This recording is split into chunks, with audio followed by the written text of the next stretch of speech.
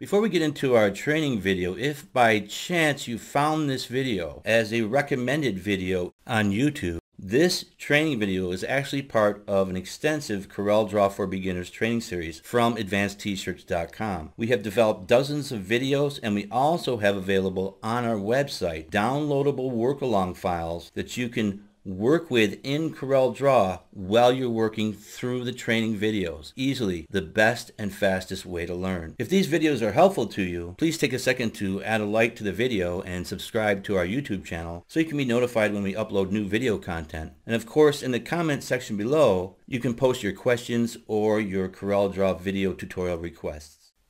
This will be a quick session. I'm going to get into vector nodes and handles options.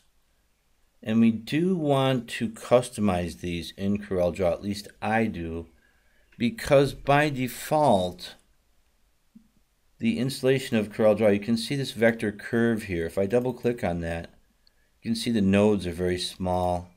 The handles are very small. They're kind of hard to get a hold of, hard to identify and work with.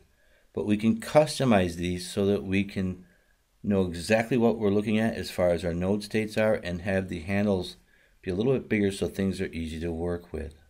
This will be a short video to set this up and then we'll start moving into working with the shape tool and the Bezier tool and some of the other things relating to working with curves and objects in CorelDRAW and graphic design. So to set this up, I'll just hit the spacebar, go back to my pick tool, click off of that, go to Tools, options. You can see I'm already here on that, but if workspace is collapsed, just open that, go to nodes and handles. Enable node tracking if you have not.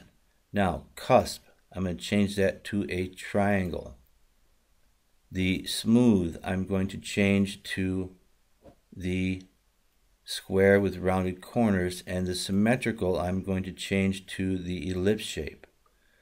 Then I'm going to change my node size from small to medium. I can change the color scheme if I want to, but I'm not going to bother with that.